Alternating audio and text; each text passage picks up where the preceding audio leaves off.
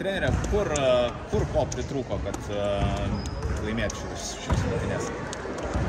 Nu, pirma, norėčiau pasveikinti Panevežio komandą su pelnyta pergalė.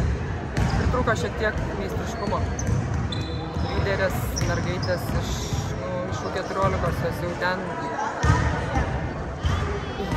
jau jas ten pakankamai imasi, prasme, tai lyderės, nu ne lyderės pozicijų, bet žino, ką, už, už ką atsakingos ir ką veikia.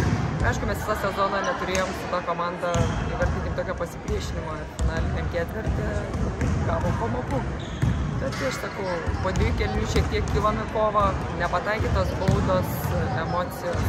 Nu, turim dar vieną traumą, aukštas žmogus prieš, prieš pat playoffus Gipsą. Bet nėra, yra, yra kur tobulėti. Tikrai iš tikrųjų džiaugiuosi, noriu mergaitėm padėkoti už kovą, už kiekvieną prakaitą lašą.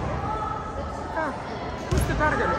Ne, ne, man įdomu, ką pasakėt Migliai, kai jie per šešias minutės prasižengė penkis taškus.